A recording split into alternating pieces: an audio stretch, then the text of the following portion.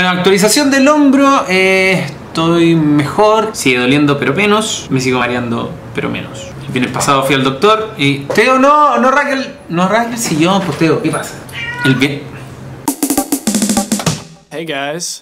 Antes de empezar, si está recién llegando a este blog, eh, yo saco un blog los lunes, los miércoles, los viernes. Como pueden ver, tal vez la circunstancia ha cambiado. Y la actualización de mi brazo es la siguiente. El viernes fui al doctor y eh, me dieron 30 días más de licencia.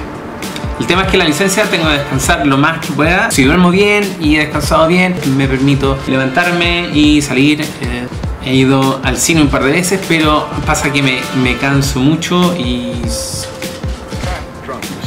Ahora, estos días me han permitido pensar en estos grandes eventos. En el libro El poder de los hábitos se habla de que gente cambia sus patrones y sus hábitos como de compra en grandes hitos, accidentes, términos de relaciones, comienzos de nuevas relaciones. Todo eso permite que uno se cuestione su vida actual, el status quo. Todos esos son momentos que incuban un- una reflexión del por qué está sucediendo esto que en realidad no me gusta que esté sucediendo. Como si entre medio de esto hay un código o un secreto o un mensaje. Yo en realidad me considero una persona bastante espiritual. Acepto que y creo que hay energías y cosas que algunos llaman azar, destino, incluso Dios.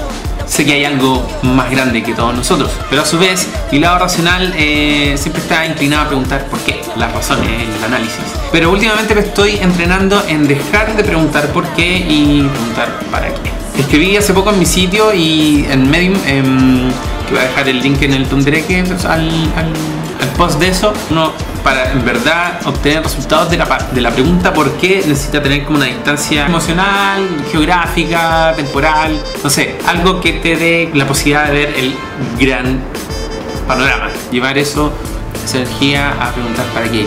Básicamente, eh, qué oportunidades veo en este en este tema. Y esa energía la estoy usando preguntándonos para qué, cómo tirar líneas eh, a dónde quiero ir, cómo quiero llegar. No sé si lo han notado, pero estos últimos blogs hemos estado conversando sobre esto, que ser reactivo igual te, te drena mucha energía, no tener un plan también te drena mucha energía, que hay que tener un equilibrio entre los dos y siento que este tiempo está aquí para que yo pueda resolver ese tema, para planificar lo que tengo en mente, lo que quiero hacer y ver el dibujar el rumbo quiero seguir.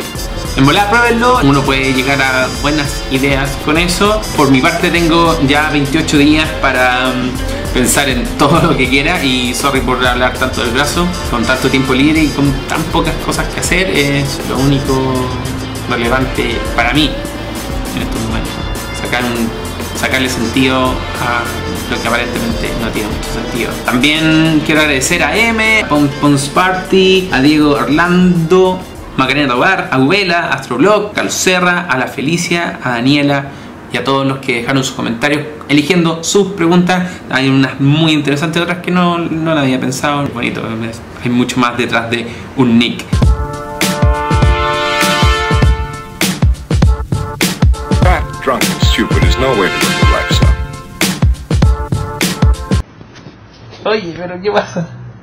Inviten a los chiquillos a suscribirse y a ver más vlogs. Sule.